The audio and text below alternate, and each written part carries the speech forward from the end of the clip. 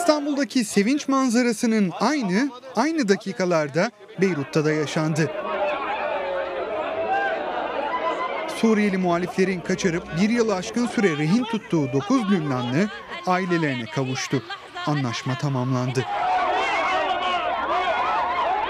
Türkiye, Lübnan, Suriye, Katar hattındaki rehine müzakereleri geçen hafta Lübnan Güvenlik Müdürü ile Katar Dışişleri Bakanı'nın Türkiye'de buluşmasıyla başladı. Son 4-5 gündür gece gündüz yürütülen çok yoğun bir mesai var.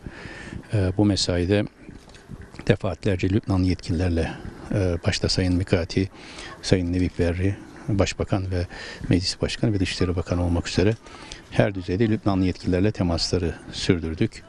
Ee, Onlar da çok ciddi çaba sarf ettiler. Ee, Dost e, ve kardeş ülke Katar'ın Dışişleri Bakanı Sayın Halit Atiye ile birlikte ayrıca e, paralel diplomatik süreçler yürütüldü.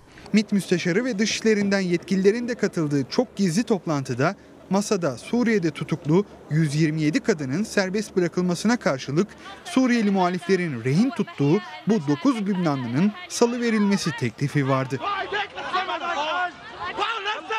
Lübnanlı yetkililer İstanbul'da kabul gören bu teklifi bu kez Şam'a götürdü ve Suriye makamlarından da olumlu yanıt aldı.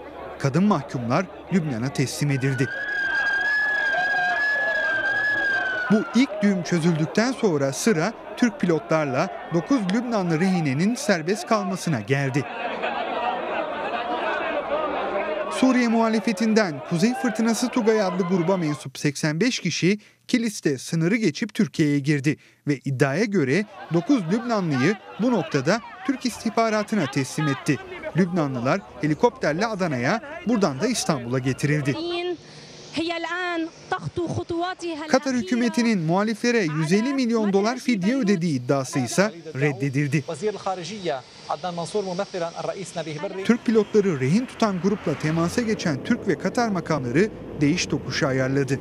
Pilotlar Lübnan makamlarına teslim edildi ve dün akşam Türk pilotları taşıyan uçak Beyrut'tan, Lübnanlı 9 kişiyi taşıyan uçak İstanbul'dan aynı anda tam 21.45'te havalandı ve yine aynı saniyelerde İstanbul'a ve Beyrut'a indi.